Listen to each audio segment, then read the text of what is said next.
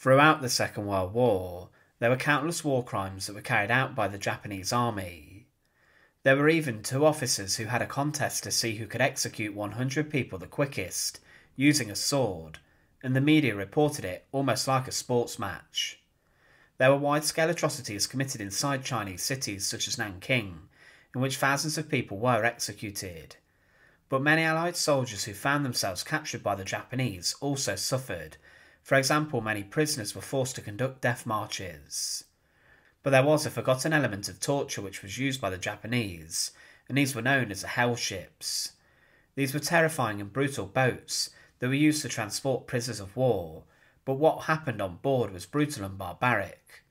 But what is the story of the torture of the Japanese hell ships? Join us today as we look at this, and to support our channel, please make sure to subscribe.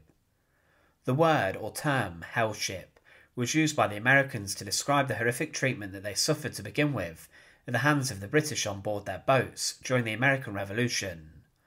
11,000 soldiers from the States who would not support the British died on board these ships, but during the Second World War, hell ships were used to transport prisoners and forced labourers to different places under Japanese control. It's been estimated that over 130 Japanese hell ships transported around 126,000 prisoners of war from Allied countries, and things were very tough. The Japanese would use forced labour, and these ships would transport workers from one place to another. There were some ships which were targeted by the British, but the Germans would also use hell ships to transport a number of prisoners who were also picked up following being sunk. The conditions on board the boats were horrific. Japanese troops herded hundreds of people into the ships, and things were very overcrowded. Many of these boats also carried supplies and weapons. One man described the ships and said, We threw our packs into the deep hold and quickly followed down the long ladder into the darkness, herded by the guards and their bayonets. The prisoners had been so crowded in these other holds they couldn't get the air to breathe. They went crazy, cut and bit each other through the arms and legs, and sucked their blood. In order to keep from being murdered, many had to climb the ladders and were promptly shot by the guards. Between 20 and 30 prisoners had died from suffocation or were murdered during the night. The cargo holds where the prisoners were stuffed into were horrific, and there was little air and ventilation, and on the journeys many people would die from suffocation. There was also a significant lack of food and water, and because of this many people died from starvation and diseases on board were rife, with prisoners getting dysentery often. There was also a significant amount of heat and humidity inside the Pacific, making conditions even worse. But there was on the ships a mixture of prisoners of war, but also regular Japanese forces and cargo, and because of this the ships were not marked as safe, and because of this there were a number of Japanese vessels that were attacked and were hit by torpedoes and other shells.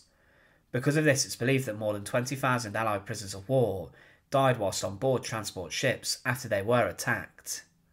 One of the largest attacks on these ships occurred on the 24th of October 1944, when the vessel, the Arisan Maru, was transporting 1,781 American and Allied military and civilian prisoners of war. It was hit by a submarine from the USS Shark or the USS Snook, and it would sink two hours later. But no prisoners of war were killed by the initial torpedo strikes, and they were able to get from the ship's hold, but the Japanese did not rescue any of them from the sea. On board the ship, only nine prisoners survived the attack, and four would escape. Further attacks on vessels took place, as did further deaths inside of the hulls.